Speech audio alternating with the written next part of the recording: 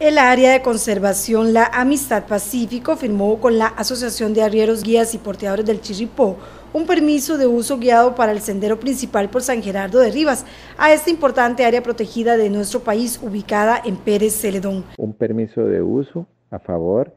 de la Asociación de Guías, Arrieros y Porteadores del Parque Nacional Chirripó, de las comunidades de San Gerardo de Rivas y comunidades aledañas. Este permiso de uso faculta el desarrollo de actividades ecoturísticas y de capacitación en el patrimonio natural del Estado, específicamente lo que es el guiado y el acompañamiento en la parte alta, la red de senderos de la parte alta del Parque Nacional Chirripó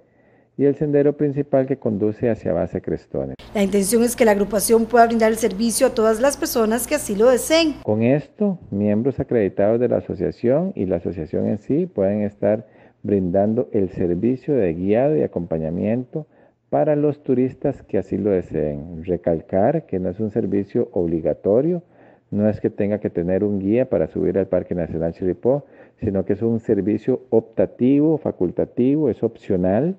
donde si yo quiero mejorar la calidad y la experiencia de mi visita al Parque Nacional Chiripó, puedo contratar a estos guías acreditados para que me suban sobre el sendero principal o los puedo contratar en la parte alta para que me lleven a lo que es la red de senderos de la parte alta. La intención es que los turistas hagan uso de este tipo de guiado para que aprendan más de los atractivos que hay en el Parque Nacional Chirripó. Aparte de que el turista puede aprender mucho más sobre todo lo que es la historia natural del Parque Nacional Chirripó, historia geológica, biodiversidad, flora, fauna asociada. Este, aparte de eso, también el SINAC se ve beneficiado por un tema precisamente de seguridad del mismo turista, de minimizar los riesgos. Recordarles en este caso que el tema, digamos, del guiado es optativo, es facultativo, no es obligatorio, pero que es un servicio complementario y que hay turistas nacionales y extranjeros que lo demandan. La intención es mejorar el servicio. Y creemos que en esto, pues el, el SINAC y la Asociación de Guías, Arrieros y Porteadores, pues va en beneficio de